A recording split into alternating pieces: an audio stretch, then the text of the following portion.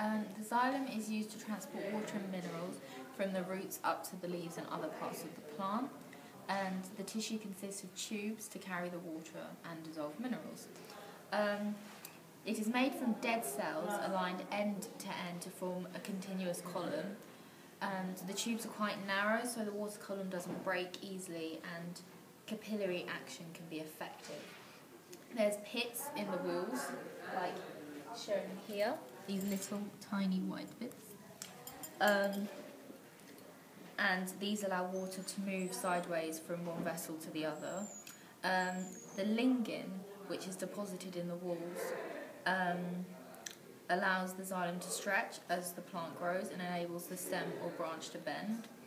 Um, the reason the flow of water and minerals isn't like stopped is because there are no walls, there are no cell contents, there's no nucleus or cytoplasm, and lignin thickening prevents the walls from collapsing.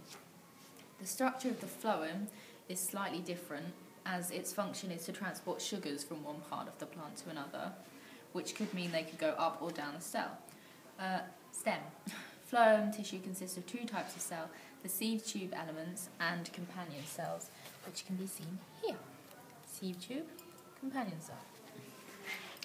Uh, the sieve tube, element, sieve tube elements are not true cells as they contain very little cytoplasm and no nucleus and they're lined end to end in a tube, just like in the xylem. Um, the sucrose is dissolved into the water to form a sap. Unlike xylem vessels, the tube contains cross walls at intervals. The cross walls are perforated by many pores to allow the sap to flow through. Hence, the cross walls are called sieve plates, and, and this is why the tubes are called sieve tubes, which can be seen here. Um, Another thing they have is the sieve tubes have very thin walls and are usually five or six sided.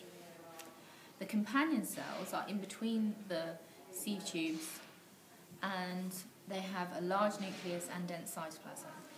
Uh, these companion cells have numerous mitochondria to produce ATP needed for active pro processes.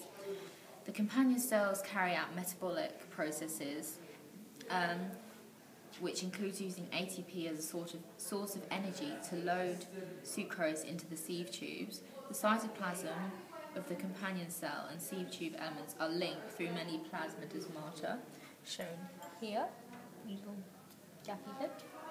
Um, these gaps in the cell walls allow communication and the flow of minerals between the two cells.